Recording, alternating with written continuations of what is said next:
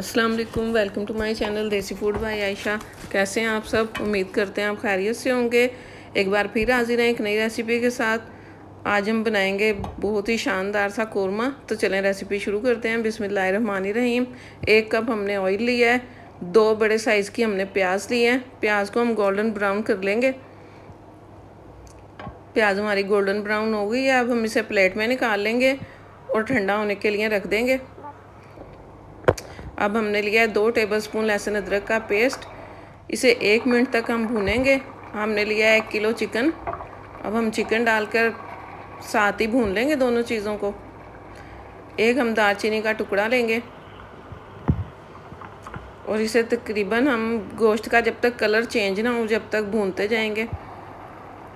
अब हमने एक कप दही डाली है। अब हम चिकन अब हम चिकन की अच्छी तरह से भुनाई करेंगे।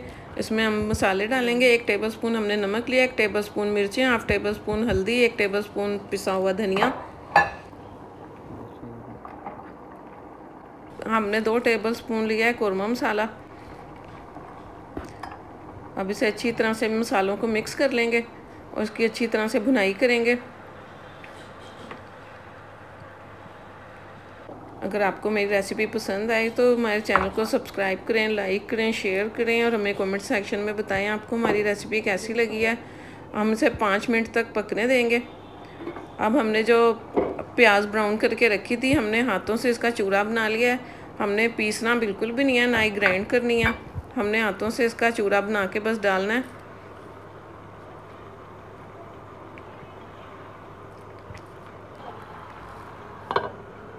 पाँच मिनट तक पकाएँगे।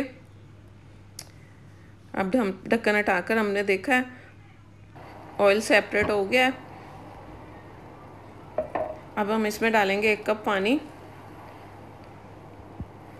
और शोरबा पकने देंगे और हम डालेंगे एक टेबलस्पून हमने गरम मसाला डाला है और हमने डाला है हाफ़ टेबल स्पून केवड़ा।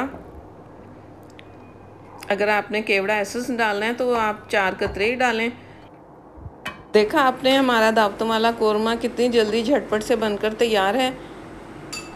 इसे ट्राई करना मत भूलिएगा। मिलते हैं अगली वीडियो में। अपना बहुत सा रखिएगा, ख्याल दुआओं में रखिएगा। याद ओके जी, अल्लाह हाफिज़।